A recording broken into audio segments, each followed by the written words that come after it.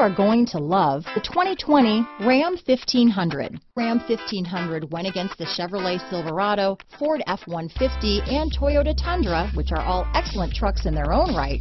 The Ram took home the prize for its well-rounded strengths.